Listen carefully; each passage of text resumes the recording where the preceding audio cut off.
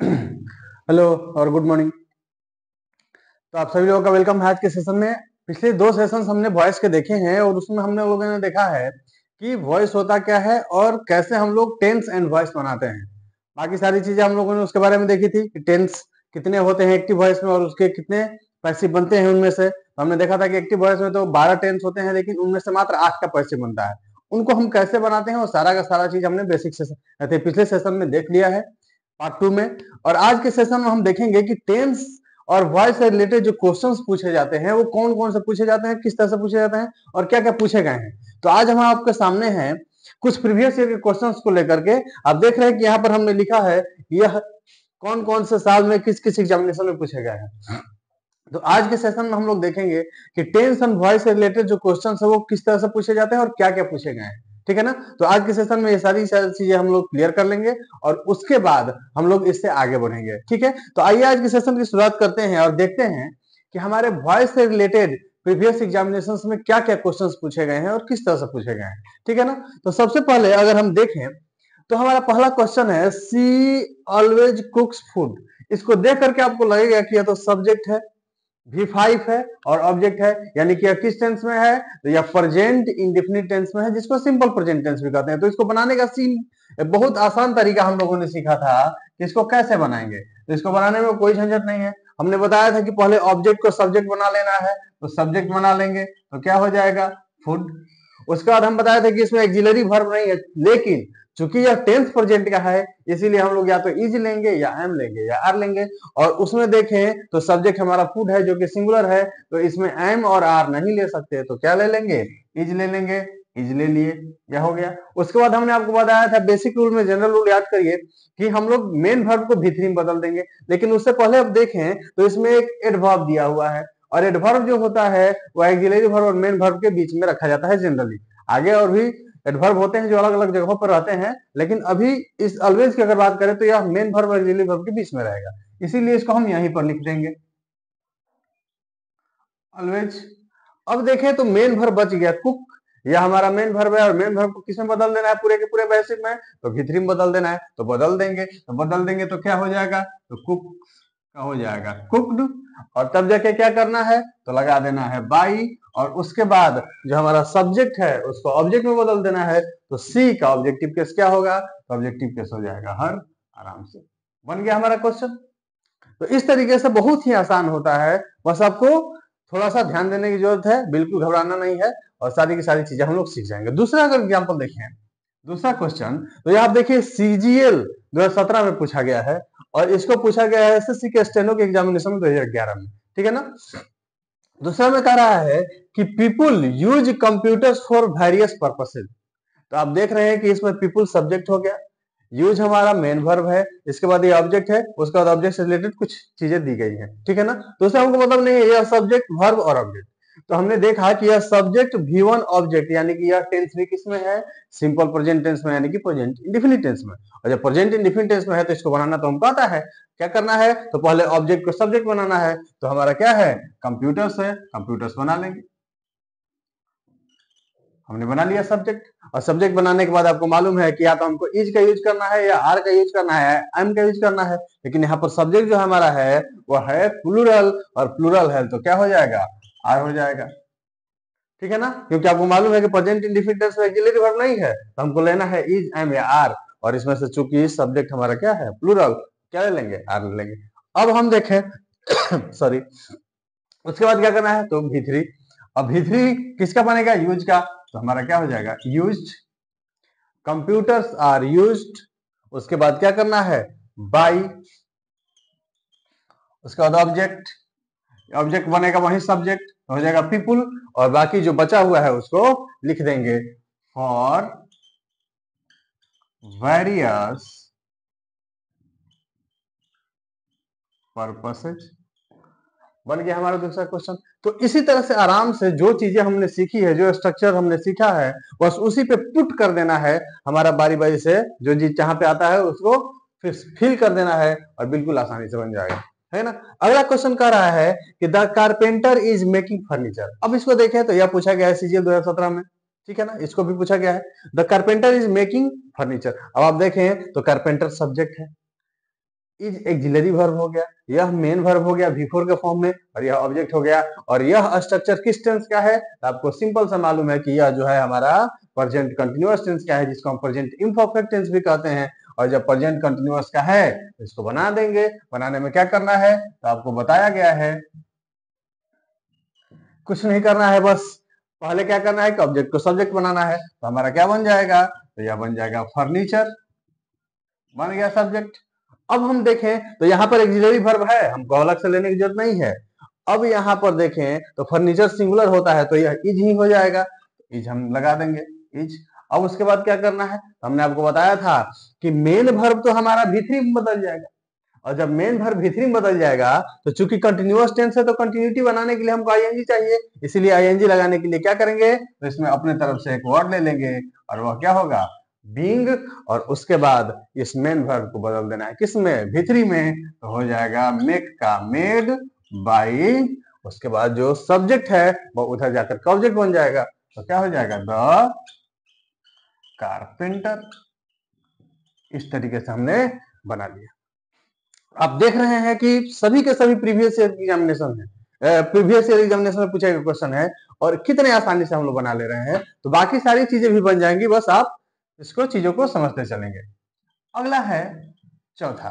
कह रहा कि an American scientist has won the Nobel prize for physics ठीक है? तो आप देख रहे हैं यह भी सीजीएल के सत्रह में पूछा गया क्वेश्चन है। और यह कौन सा टेंस है? तो इसमें subject has V three object और यह किसका स्ट्रक्चर होता है? तो यह होता है प्रेजेंट परफेक्ट टेंस का। प्रेजेंट परफेक्ट टेंस का बनाना होता है। तो कैसे बनाते हैं आपको मालूम है? तो पहले हम लोग क्या करेंगे? पहले ऑब्जेक्ट लेंगे। और ऑब्जेक्ट हमारा क्या है? द नोबेल प्राइज तो हम यहाँ से ले लेंगे। The Nobel prize for physics, ये हो गया। The Nobel prize for physics, यह बन गया सब्जेक्ट। अब इसके बाद हमको एक्जिलरी वर्ब लेना है तो एक्जिलरी वर्ब तो इसमें दिया है। हैज़ हमको अलग से लेने की ज़रूरत नहीं है तो क्या हो जाएगा? हैज़ अब हमने आपको बताया था, याद करिए, कि जब भी कंटिन्यूअस टेंस आएगा तो अपने से पैसिव में जोड़ना है बीइंग परफेक्ट में बीन और उसके बाद मॉडल भर में बी तो यह परफेक्ट टेंस है परफेक्ट टेंस है तो क्या जोड़ा जाएगा? बीन जोड़ा जाएगा। बिन और उसके बाद से भी थ्री तो भी थ्री के लिए टेंशन लेना ही नहीं है, क्योंकि भी थ्री तो दिया हुआ है। तो क्या कर देंगे? वन उसके बाद जो हमारा सब्जेक्ट है वो बन जाएगा ऑब्जेक्ट बाई के साथ तो क्या हो जाएगा? बाई एन अमेरिकन साइंटिस्ट तो इस तरीके से हम लोगों ने देखा कि हमारा पैसिव बन चुका है। ठीक है? अगला क्वेश्चन की तरफ़ अगर हम बढ़े तो कह रहे हैं the painter painted the entire bungalow ठीक है? यह सेंटेंस देख करके हमको लगा कि यह तो सब्जेक्ट है, इसमें तो भी टू आ गया है, उसके बाद ऑब्जेक्ट है, और subject plus V two plus object जो होता है, वो पास्ट इंडेफिनिट टेंस का, यानी कि सिंपल पास्ट टेंस का स्ट्रक्चर होता है। और आप देख रहे हैं कि अभी सीजीएल के दो सत्रह में पूछा गया क्वेश्चन है तो इसको बना लेंगे। बिल्कुल आसान है। क्या करना है? तो हमने देखा था कि इसको पहले ऑब्जेक्ट को सब्जेक्ट बनाएँगे तो क्या हो जाएगा? द इंटायर बंगलो यह बन गया सब्जेक्ट और अब देखें तो यह पास्ट इंडेफिनिट है, इसमें भी एक्सिलरी वर्ब नहीं है, लेकिन चूँकि यह पास्ट का है, इसीलिए पास्ट का फॉर्म लेंगे, और पास्ट का वर्ब क्या होता है? वाज या वर चूँकि हमारा यह सब्जेक्ट सिंगुलर है, इसीलिए क्या ले लिया जाएगा? वाज ले लिया जाएगा। वाज अब क्या करना है? तो मेन वर्ब को भीतरी में बदल देना है तो पेंटेड भी टू है, इसका भीतरी भी पेंटेड ही होता है तो क्या हो जाएगा? पेंटेड बाय द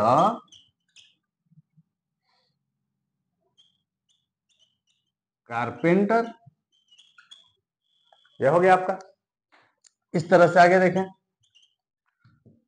अगला क्वेश्चन कहा गया है कि he completed the story on time अगर इसको ध्यान से देखें तो सब्जेक्ट भी टू ऑब्जेक्ट उसके बारे में एक एडवर्ब आया।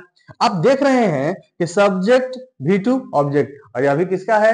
यह भी पास्ट इंडिफिनिटेंस का है। तो बिल्कुल इसी तरह से बना लेंगे क्या करना है? तो पहले ऑब्जेक्ट को सब्जेक्ट बनाएँगे। तो ऑब्जेक्ट हमारा है द स्टोरी क्या बन गया सब्जेक्ट चूँकि यह सिंगुलर है तो इसमें भी एक वर्ब नहीं है तो क्या ले लिया जाएगा? वाज ले लिया जाएगा, क्योंकि यह पास्ट टेंस का है। तो वाज अब उसके बाद क्या करना है? तो भीतरी बदलना है। तो भी है यहाँ पर, इसका भीतरी भी कंप्लीटेड ही होता है। तो क्या हो जाएगा? Completed the story was completed by him on time ठीक है ना? तो इस तरीके से हम लोग बना लिए। ये हमारा छठा था। सातवें की बात करें तो सातवां कह रहा है कि the labourers were digging a canal तो आप देख रहे हैं कि सब्जेक्ट वर भी फोर ऑब्जेक्ट और यह स्ट्रक्चर किसका है? तो सब्जेक्ट के बाद was were plus V four या तो पास्ट कंटिन्यूस टेंस का होता है। तो यह पास्ट कंटिन्यूस है, बना लेंगे आराम से। तो इसको कुछ नहीं करना है, पहले क्या करना है? तो सब्जेक्ट बनाना है ऑब्जेक्ट को। तो ऑब्जेक्ट हमारा कैनल है, बना लिए। ठीक है? अब आप देखें तो इसके बाद क्या करना है? तो हमको ले लेना है। इसके बाद एक्जिलरी वर्ब अब एक्जिलरी वर्ब यहाँ पर वर है। लेकिन यहाँ पर आप देख रहे हैं कि या तो सिंगुलर है। तो सिंगुलर है तो वर ना होकर के क्या हो जाएगा? वाज हो जाएगा। The canal was a canal was अब यहाँ पर देख रहे हैं या तो कंटिन्यूस टेंस है पास्ट का तो कंटिन्यूस टेंस कभी भी हो, हमको बींग तो लगाना पड़ेगा, लगा देंगे। बींग डग बाई और उसके बाद करके ये सब्जेक्ट हो जाएगा, इधर आएगा तो ऑब्जेक्ट हो जाएगा द लेबरर्स बन गया। अब अगला क्वेश्चन को देखें। हम अगला क्वेश्चन कह रहा है कि I had drawn this picture या दिल्ली पुलिस एस आई दो हज़ार सत्रह में पूछा गया क्वेश्चन है और आप देख रहे हैं कि यहाँ पर कह रहा है subject had V three object और subject had V three object जो होता है वो पास्ट परफेक्ट टेंस का होता है। तो कोई दिक्कत नहीं है। जैसे हम लोग आगे जज बना रहे हैं, इसको भी बना लेंगे। तो पहले क्या करना है? ऑब्जेक्ट को बनाना है या सब्जेक्ट तो दिस पिक्चर हो जाएगा।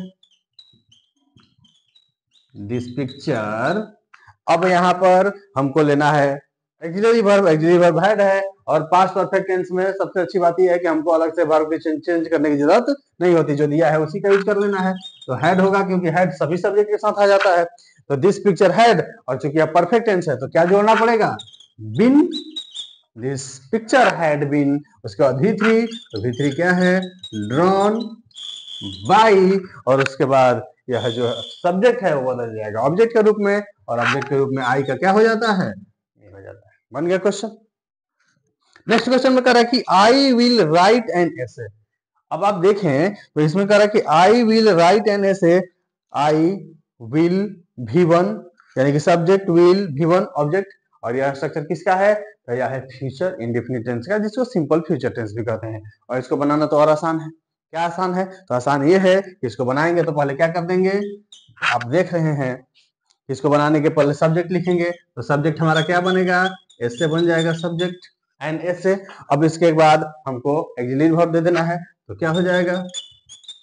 विल अब यहाँ से रुकना है कि यह देखिए तो यह तो मॉडल फर्ब है, और हम बताए हैं कि जब कंटिन्यूअस टेंस हो तो बीइंग परफेक्ट टेंस हो तो बीन और मॉडल वर्ब हो तो अपने तरफ़ से क्या जोड़ना है? बी जोड़ना है, यहाँ पर क्या जोड़ दिया जाएगा? बी क्यों? क्योंकि मॉडल वर्ब हमेशा अपने बाद भी लेता है और चूँकि यहाँ पर मेन वर्ब तो भी बदल जाएगा, इसीलिए भी के रूप में हमको बी का प्रयोग करना पड़ेगा। तो अब क्या करेंगे? तो अब भी लिखना है तो क्या हो जाएगा? रिटेन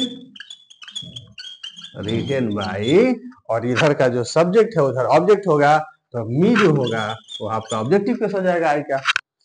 ठीक, अगला क्वेश्चन करे कि I still the full thesis by December या सी एच एस एल दो हज़ार सत्रह में पूछा गया क्वेश्चन है, ठीक है?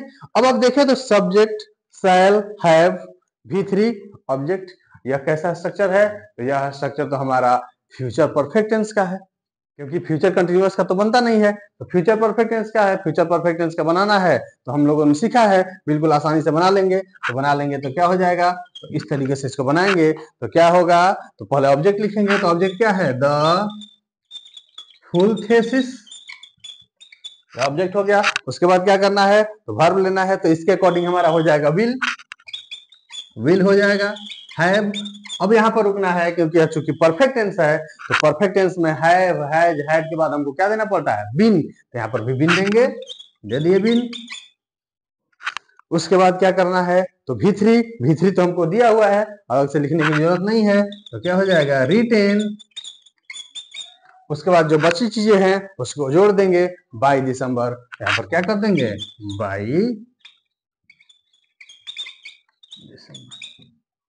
तो आप देख रहे हैं, इसको आप एक स्क्रीनशॉट ले लीजिए, फिर कुछ बातें करेंगे।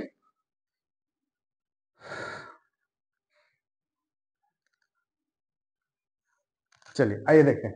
तो आप देख रहे हैं, आपने देखा कि ये सभी के सभी जो एग्जामिनेशन में पूछे गए क्वेश्चन है, ये वॉइस से रिलेटेड है, जो कि टेंथ से पूछे गए हैं। है ना? और भी बहुत सारे क्वेश्चन है, लेकिन हमने कोशिश किया कि आपको हर एक टेंस का बताएँ। जो जिस टेंस हम लोगों ने आठ पढ़ा था, उसके बारे में हर एक से कम से कम एक एग्ज़ाम्पल हो ताकि आपको चीज़ें क्लियर हो जाए।